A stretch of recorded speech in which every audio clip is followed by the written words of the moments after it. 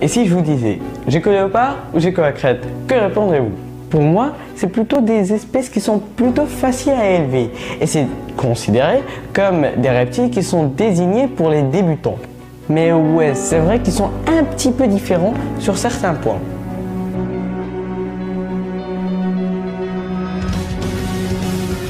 Les deux geckos sont extrêmement beaux, mais ils sont un petit peu différents au niveau de leur morphologie.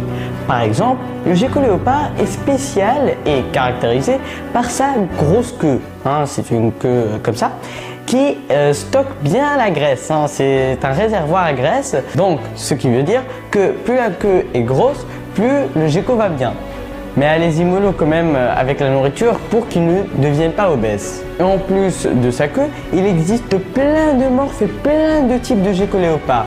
Il y a des albinos, des tangerines, des blancs, des bondis, donc il y en a plein. Hein. il y en a une blinde et je peux pas, peux pas les citer maintenant. Sinon, il y aura juste une vidéo spécialisée sur les morphes de gecko léopard. Comparons ça à un gecko à crête qui est caractérisé par, comme son nom l'indique, sa crête, qui est bien visible au niveau de sa tête et de tout son corps. Pour savoir si votre gecko va bien ou pas, il va tout simplement arrêter de manger comme tout autre lézard. Ou bien qu'il va commencer à marcher bizarrement, ce qui est dû à un manque de calcium. Et pour ce qui est de la morphologie, il n'y en a que très très très très très très très peu de morphes de cette espèce. Je crois, si je m'en rappelle, qu'il n'y en a que 3 ou 4, si je m'en rappelle. Ce qui est hyper réduit par rapport au gecko léopard. Donc ça sera un 1, 0. On continue qui est le plus facile à manipuler. Les deux espèces sont manipulables, mais je trouve que le gecko est plus en mode sauter puisqu'il est arboricole, donc il va plus essayer de sauter. Et s'il saute par exemple sur une surface plate et dure, il peut facilement perdre sa queue. Et je précise que ce n'est pas du tout rare de perdre la queue chez les geckos alors que les geckos léopards sont plus des animaux terrestres, ce qui les rend plus faciles à manipuler. Sauf qu'il faut aussi prévoir soit un lit, soit euh, une table, de la manipuler au-dessus d'une table pour euh, qu'il n'y ait aucun risque. Donc, je ne rajouterai aucun point euh, aux deux puisqu'ils sont tous les deux manipulables. Donc, ça reste un 1-0.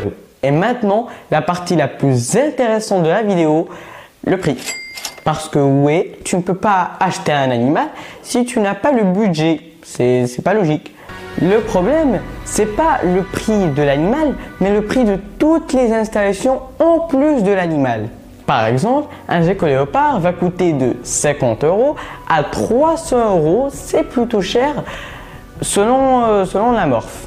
Mais il faut aussi compter le substrat, les cachettes, un thermostat, un thermomètre, un hygromètre, un tapis chauffant, en plus du terrarium 60 par 45 par 45 qui est le minimum pour un adulte.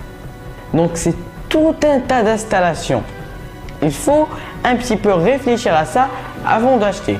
Et puisque le gecko léopard est un animal insectivore, il va plus manger des insectes, comme par exemple des blattes, des criquets, des grillons, en plus du calcium en poudre et de la D3.